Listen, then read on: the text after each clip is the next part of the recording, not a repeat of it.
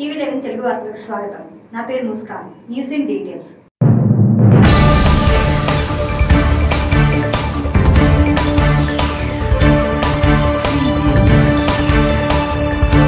Sangareddy జిల్లా పటంచేరు పట్టణంలో ఏర్పాటు చేసిన మీడియా సమావేశంలో తెలంగాణ ఆర్థిక శాఖ మంత్రి తన్నీరు హరీష్ రావు మాట్లాడుతూ ఈ రోజు జిహెచ్ఎంసీ ఎన్నికలకు హైదరాబాద్ నగరానికి వస్తున్న ఢిల్లీ బీజేపీ నాయకులు మా హైదరాబాద్ ప్రజలను ఏమని ఓట్లు అడుగుతారు? ముందుగా వరద బాధితులను ఆదుకునేందుకు కేంద్ర ప్రభుత్వం పదివేల కోట్లు తక్షణమే ప్రకటించాలి. అదే విధంగా కేంద్రం నుండి మా తెలంగాణకు రావాల్సిన నిధులను ముందుగా ఇవ్వండి. అదే విధంగా కేంద్ర ప్రభుత్వం పరిశ్రమలను ప్రైవేట్ పరం చేయబోమని హామీ ఇచ్చి మా కార్మికులను ఆదుకోండి అని అన్నారు. కేంద్ర ప్రభుత్వ పథకాలు అమలు చేయడంలో మీ బీజేపీ పాలిత రాష్ట్రాల్లో అమలు కావట్లేదు అన్నారు. దేశంలోని కరోనా బాధితులను ఆదుకున్న ప్రభుత్వం తెలంగాణ ప్రభుత్వం అని రెండవ స్థానంలో ఉందని స్వయంగా మీ ఆరోగ్య శాఖ మంత్రి ప్రకటించారు. ఇప్పటికైనా మా తెలంగాణ ప్రజల మీద మీ బీజేపీ ప్రభుత్వానికి చిత్తశుద్ధి ఉంటే వరద బాధితులను వెంటనే హామీ అందించాలని ఆయన కోరారు.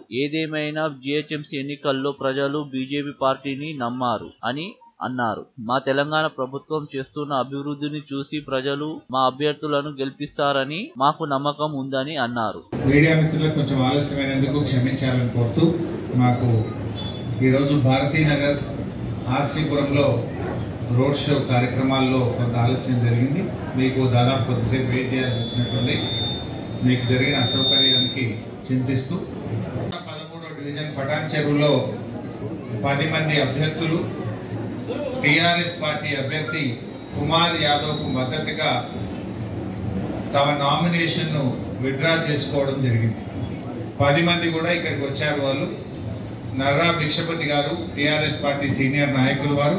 మొదటి నుంచి కూడా పార్టీ కోసం పనిచేసిన ఒక క్రమశిక్షణ కలిగిన కార్యకర్త. వారు టికెట్ ఆశించినా రాకపోయినా కూడా ఖచ్చితంగా టిఆర్ఎస్లోనే ఉంటాం. పార్టీ ఇచ్చిన అభ్యర్థి కుమార్ యాదవ్ను గెలిపించుకుంటామని చెప్పి వారి నామినేషన్ విత్డ్రా చేసుకున్నారు. వారికి హృదయపూర్వకంగా ధన్యవాదాలు. అదేవిధంగా ఎం రామ్మోహన్ గారు వారు రాని ఇది వేరే జరుగుతుంది ఎం రామ్మోహన్ అడ్వకేట్ వారికి కూడా హృదయపూర్వకంగా ధన్యవాదాలు. నాయకోటి శివ. నాయకోటి శివ వారికి కూడా ముందుకు నమస్తే పెట్టారు ధన్యవాదాలు.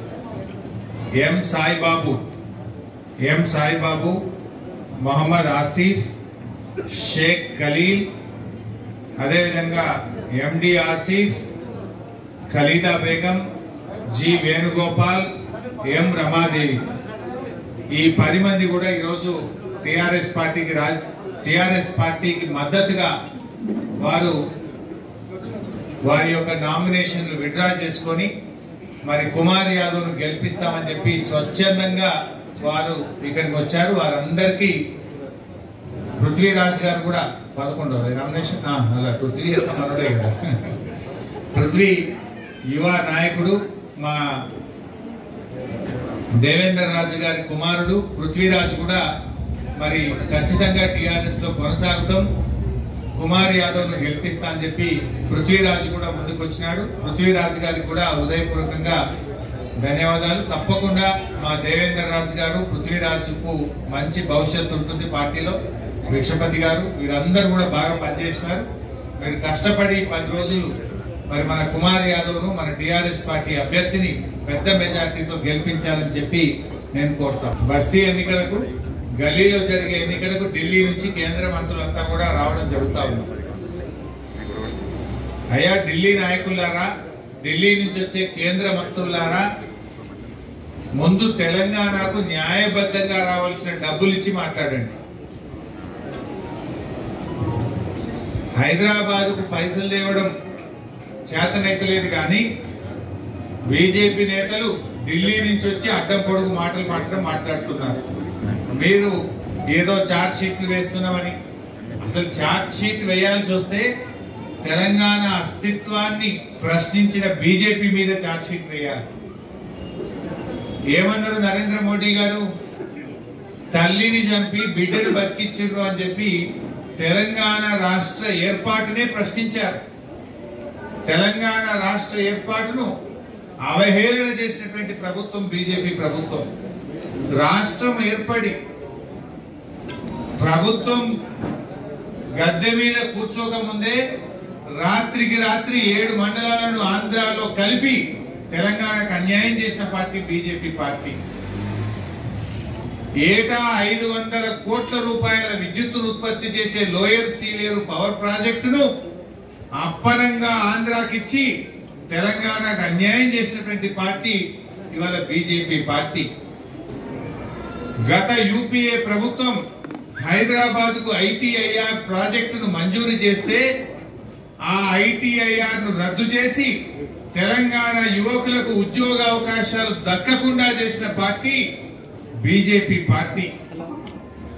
ఐజీఎస్టీలో ఈ రాష్ట్రానికి రావాల్సిన మూడు వేల కోట్ల రూపాయలను గత సంవత్సరం నరగా ఎన్నిసార్లు అడిగినా ఈ రాష్ట్రానికి రావాల్సిన మూడు వేల కోట్లు ఇవ్వకుండా తెలంగాణకు అన్యాయం చేస్తున్న పార్టీ బీజేపీ పార్టీ. కనుకనే ఇవాళ కేసీఆర్ గారు టిఆర్ఎస్ ప్రభుత్వం దాన్ని కొనసాగిస్తుంది. మీ ఆయుష్మాన్ భారత్ కంటే కూడా ఆరోగ్యశ్రీ మంచిది కనుకనే ఇవాళ ఆరోగ్యశ్రీ టిఆర్ఎస్ ప్రభుత్వం కొనసాగిస్తున్నది.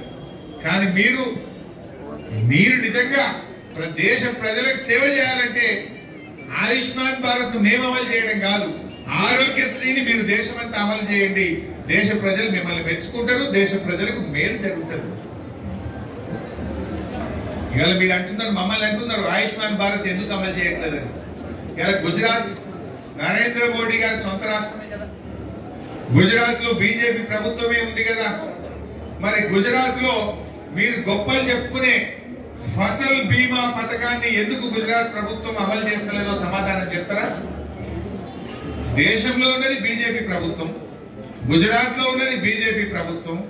దేశ ప్రధానమంత్రి గౌరవనీయులు మోడీ గారి సొంత రాష్ట్రమైన గుజరాత్లోనే మోడీ గారు ప్రవేశపెట్టిన ఫసల్ బీమా పథకాన్ని గుజరాత్ రాష్ట్రంలో అమలు చేయడం లేదు. మీరు మమ్మల్ని అంటున్నారు ఆయుష్మాన్ భారత్ ఎందుకు అమలు చేయడం లేదని. నేను అడుగుతున్నా మీ స్వంత రాష్ట్రం గుజరాత్లో ఫసల్ బీమా యోజన పథకం ఎందుకు అమలైతలేదో ముందు దేశానికి ఈ తెలంగాణ ప్రజలకు సమాధానం చెప్పండి మీరు. అంటే ఏ రాష్ట్రానికి ఏ పథకం ఉపయోగంగా ఉంటే ఆ ప్రజలు ఏం కోరుకుంటే రాష్ట్ర ప్రభుత్వాలు అది చేస్తాయి. ప్రజల మేలు కోసం చేస్తాం. ఇవాళ ప్రజల ప్రజలే హైకమాండ్గా పనిచేస్తుంది టిఆర్ఎస్ పార్టీ. ఇలా మీలాగా కాదు. ఇలా కేంద్ర మంత్రులు చెప్పండి మీరు హైదరాబాద్లో ఓట్లు కావాలని వస్తుంది కదా. మా హైదరాబాద్లో బిహెచ్ఎల్ ఉంది బీడీఎల్ ఉంది డిఆర్డిఎల్ ఉంది ఎల్ఐసి ఉంది మా ఓడిఎఫ్ ఉంది. వాటిని ప్రైవేట్ పరం చేయమని చెప్పండి. హైదరాబాద్ ప్రజలకు మాట ఇవ్వమని కోరుతున్నాను నేను జగదేట్కర్ గారిని. మీరు హైదరాబాద్ ప్రజల ఓట్లు కావాలని వచ్చింది కదా. మొన్న బిఎస్ఎన్ఎల్లో యాభై వేల మందిని తీసేసిండ్రు. ఎల్ఐసిలో పది శాతం ప్రైవేట్ పరం చేసిండ్రు. మా ఓడిఎఫ్ ఫ్యాక్టరీలో ఉండే ఖాళీ భూమిని అమ్మకానికి పెట్టిండ్రు. మా బిహెచ్ఎల్ కార్మికులు ఎప్పుడు మూతపడ్డదా అని భయపడుతున్నారు.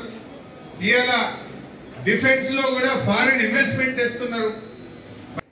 అయ్యా కేంద్ర మంత్రులారా నిజంగా మీకు ఓట్లు కావాలంటే నిజంగా హైదరాబాద్ ప్రజల మీద ప్రేమ ఉంటే ప్రభుత్వ రంగ సంస్థల ప్రైవేటీకరణ ఆపేస్తాం. ఓడిఎఫ్ భూములు అమ్మము ఎల్ఐసిని ప్రైవేట్ పరం చేయము డిజిన్వెస్ట్మెంట్ శాఖను మూసేస్తాము అని ప్రజలకు మాట ఇచ్చి రాజాసింగ్ రాజా సింగ్ ఎమ్మెల్యే గారు నియోజకవర్గ నాయకులు మాట్లాడిన వీడియోలు చూసినాం. మా ఎమ్మెల్యేలు అని చేస్తున్నారు మమ్మల్ని నొక్కేస్తున్నారని మాట్లాడుతున్నారు. మీ నాయకుల మధ్య మీ కార్యకర్తల మధ్యనే మీకు సమన్వయం లేదు. మీది మీకే శృతి లేదు. మీరు హైదరాబాద్కి ఏం చేస్తారు? ప్రజలకేం సేవ చేస్తారు? మీ పార్టీలోనే మీరు ఒక తాటి మీద నడవలేని వాళ్ళు రేపు హైదరాబాద్ నగరాన్ని ఎట్లా నడపగలుగుతారు?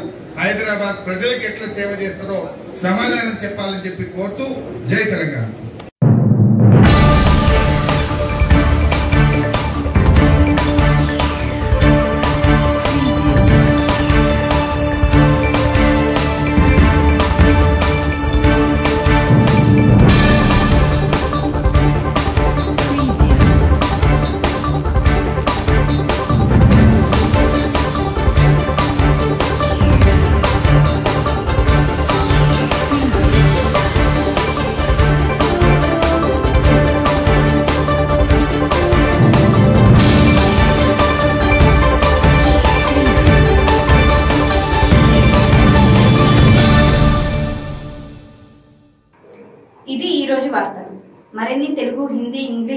వార్తల కోసం చూస్తూనే ఉండండి టీవీ లెవెన్ న్యూస్.